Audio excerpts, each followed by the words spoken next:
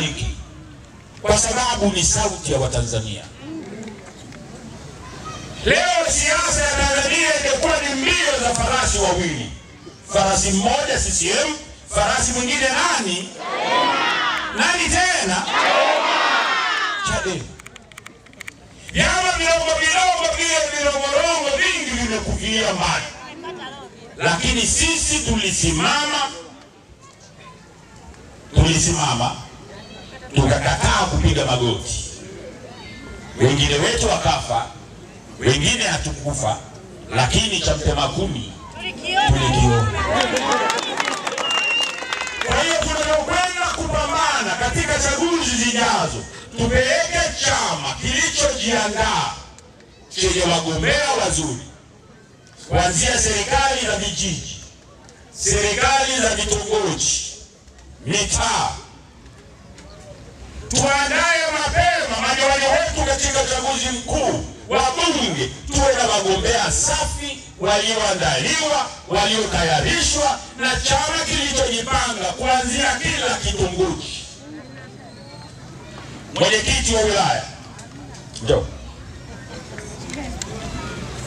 Maanake huyu ndio mwenyekiti, nataka tujue anafanya nini kukiandaa chama kuwa chombo cha ushindi. Nchi nzima ina msiba wa umaskini.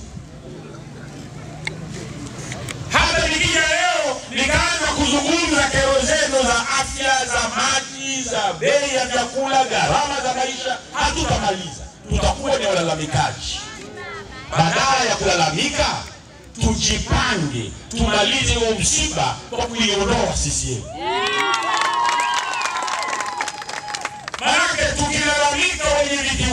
Vijiji ni wakwao, makatibu wote wa kata na tarafa na majilisi na wakuu wa mikoa ni wakwao, pamoja na kwamba ni wa michongo, ni wa nini? Ni wakwao. Kwa hiyo sisi cha kufanya sio kujilisha hofu na kuanza kunung'unika, ni kujipanga. Wakati wetu ukifika, tuwe tuna nguvu na mikakati ya kutosha kuwapumzisha CCM, kupumzisha msiba wa umaskini. Mheshimiwa Mwenyekiti, una vijiji vyako na vitongoji vyako. Wajibu wa kwanza ni kukijenga chama kuanzia kwenye vitongoji wapatikane wanachama wasiopungua thelathini kwenye kila kitongoji. Kila mwanachama mahali hapa awe na kadi yake ya chama. Tunataka kukipanga chama hiki kidijitali.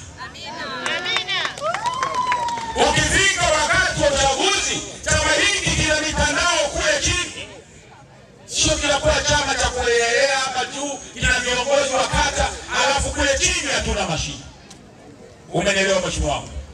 Ninakwenda nitarudi katika kipindi cha miezi minne, tutakuja na timu nyingine ya taifa, tutaingia wilaya kwa wilaya, kata kwa kata, kijiji kwa kijiji, kitongoji kwa kitongoji, mpaka kitandani. Sasa kila yangu, chama kuwa chombo cha ushindi. Because kwa hiyo huo ndio ujumbe wangu mkubwa wa leo.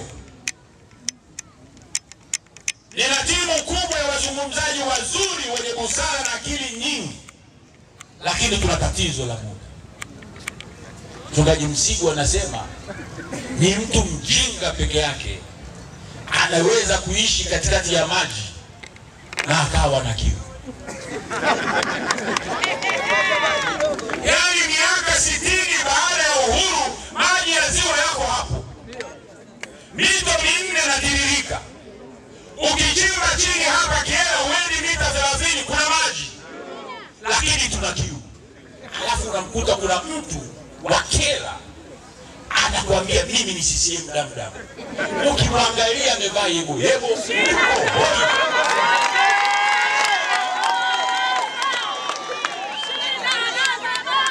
Hivi kuna mtu wa CCM kuliko mzee Kashupa? mtu masikini wanakuambia CCM na wenyewe yuko Kyela, na wataka wana CCM wa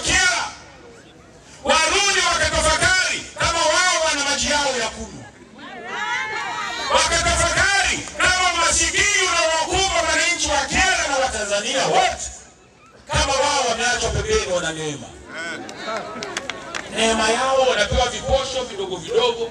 Wakati wa uchaguzi wanaharibu kura, wanaiba kura. Kwa hiyo ndugu zangu wa nimalizie kwa kuwashukuru sana kwa kweli, niwashukuru sana na mturuhusu tuondoke, twende mikutano mingine. Nimesema mna kazi ya kujipanga.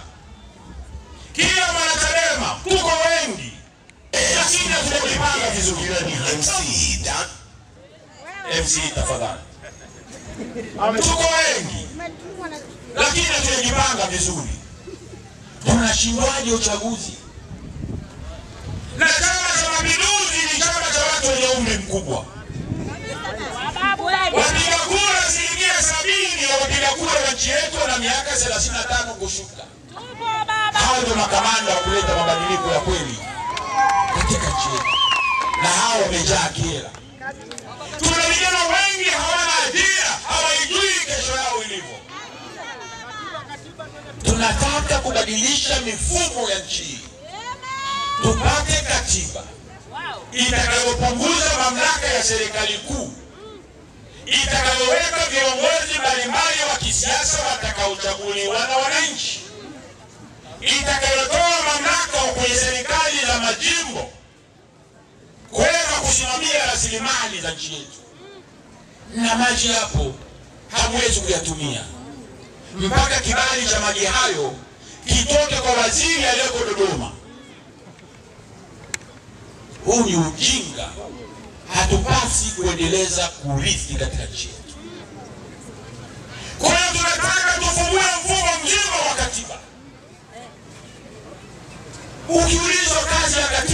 tarafa ni nini, ungeweza kueleza wewe? Lakini nchi nzima kuwe makatibu tarafa wanalipwa mishahara kwa kodi na wananchi masikini hawana kazi ya kufanya zaidi ya kuwa wapambe wa wakuu wa wilaya.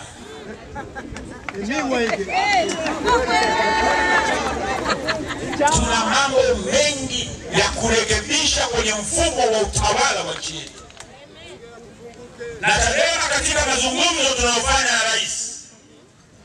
ni baadhi ya mambo tunayojadili kwa kina. Huu mfumo wetu wa utawala tuliurithi tangu wakati wa Mwalimu Nyerere, lakini nchi yetu iliendelea kuwa masikini. Tulipopata uhuru miaka sitini na mbili iliyopita, baba wa taifa Mwalimu Nyerere alisema ili tuendelee, tunahitaji vitu vinne. Tunahitaji watu. Tunapata nchi ilikuwa na watu kama milioni nane Leo tuna watu milioni sitini na tatu hatujapata maendeleo.